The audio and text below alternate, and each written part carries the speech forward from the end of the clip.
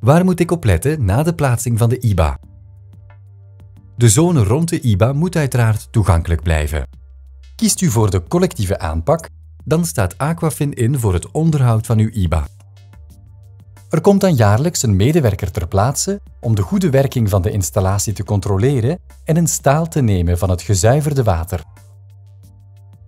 Voor de goede werking van de IBA is het absoluut noodzakelijk dat u geen gevaarlijke producten zoals verf, bleekwater, geneesmiddelen, agressieve ontstoppers enzovoort in de gootsteen of het toilet giet. Zij kunnen ernstige schade toebrengen aan de installatie. Meer informatie vindt u op www.aquafin.be als u doorklikt naar Werken in uw gemeente. U kunt met uw vragen ook steeds terecht bij ons contactcenter